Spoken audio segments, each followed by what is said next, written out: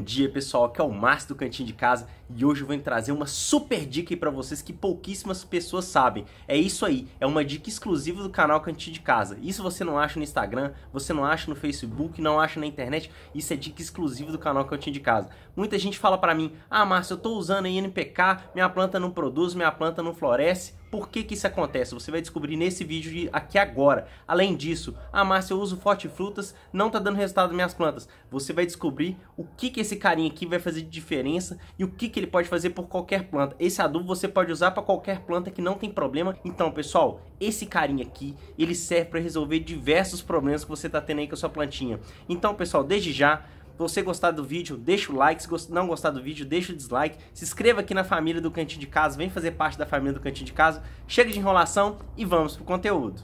Então, pessoal, tô aqui com meu pezinho de amora aqui, extremamente carregado. Olha só para vocês verem que coisa maravilhosa. Muita gente me pergunta, ô Márcio, por que, que seus frutíferos produzem fora de época? Então, pessoal, você vai descobrir isso aqui nesse vídeo agora. Qual que é o procedimento, pessoal? O que, que vocês vão ter que fazer? Vocês vão ter que fazer uma cova aí, de profundidade de no máximo 2 centímetros, na circunferência no tronco aí da sua plantinha. Você pode usar essa dica aqui para qualquer planta que não tem problema.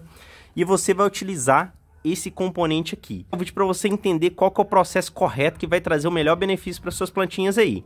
Então, pessoal, esse adubo aqui, ele tem potássio, tem cálcio, tem magnésio, tem fósforo, tem nitrogênio. Por incrível que pareça, ele é um adubo pobre. Mas qual que é o grande diferencial dele, pessoal? Ele é riquíssimo em micro-organismos. Ele vai trabalhar muito bem a biologia da sua planta. Então, o que, que você vai fazer? Você vai colocar ele na circunferência aí da cova. Pode colocar bastante, viu, pessoal? Pode colocar sem dó mesmo. Pois ele vai trabalhar totalmente a biologia do sistema do seu vaso aí. Não precisa ser em vaso, pode ser plantada na terra também, não tem problema. Os micro-organismos que são benéficos para sua planta vão trabalhar em conjunto aí com a matéria orgânica, em conjunto com o adubo que você já usa naturalmente aí. E esse carinha aqui vai acelerar todo o processo. Isso aqui, na verdade, é um catalisador, a gente chama de catalisador. Além disso, ele é um adubo também.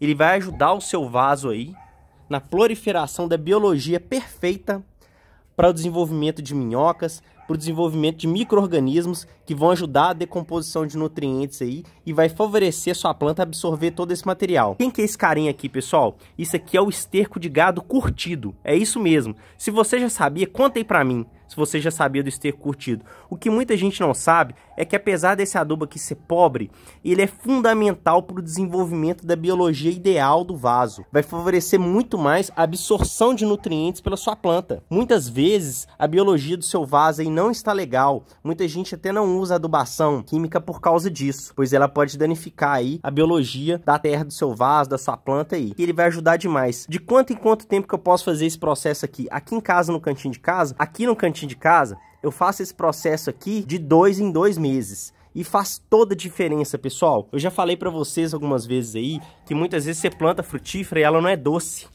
Ela não tem esse gosto doce, saudável que a gente vê. Esse carinha, ele faz toda a diferença.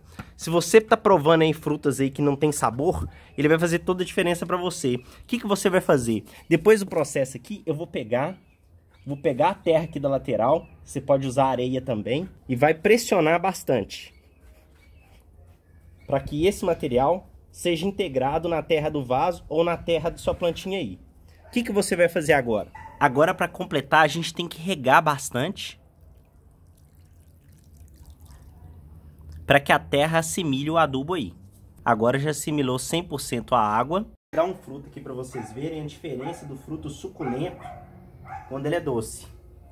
Ah, mas você vai lavar? Não, não precisa lavar não, esse aqui é orgânico.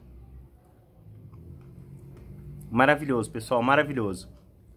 O único cuidado que a gente tem que tomar, pessoal, é que o esterco tem que ser esterco curtido.